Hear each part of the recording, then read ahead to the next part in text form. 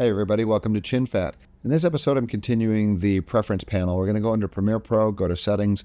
I'm to go to Premiere Pro drop down. I'm going to go to Settings, and we're going to go to our timeline here. Now, if you're on a PC, once again, if you go to Edit, this will you'll find that preference panel at the bottom of the Edit drop down, and then you'll just move over to the Preferences, move over and select the same one that we're working on here, which is Timeline. Timeline will bring open this preference panel here, and we are going over the options of timeline playback and auto scrolling here.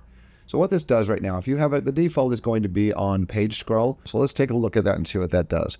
When you're looking at your timeline, you're usually only looking at a portion of your timeline. Right here, I'm going to hit minus and plus at the top of my keyboard, and it zooms in and zooms out. So if you're zoomed up and you're working on your project like this, you can also hit this backward slash above the return or large enter key, and it will show your entire timeline. But once again, usually when you're working on something, you're zoomed up like this a little closer so you can see the thumbnails and see the audio that you're working on. Now watch what happens when I play. When I play, my playhead's going to get to the end of this window, then watch what it does. So let's put it right about here and watch what happens to my timeline as it hits the end of the window here.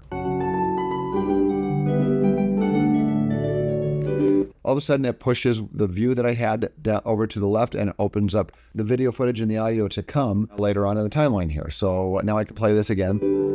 When I hustle this up, get it to the end and watch this again. Right when it reaches near the end, it gives us the next several seconds of footage to come. So that is called page scroll. If we go back to our preferences and we change this to no scroll and hit OK, watch what happens as it gets to the end of the page here. Your playhead just disappears and keeps on playing on the timeline and keeps the same view. And then once you hit stop, it jumps to the location where your playhead is now at on the timeline. So once again, here I'm going to mute this so I can talk through it, move it toward the end here, and play. And as it plays through, it's still playing the video past my viewable space here, but once again, when you stop, it catches up. And I'm not sure the way some people would want this preference. I've never used it. I don't like it. I like the timeline progressing as it plays.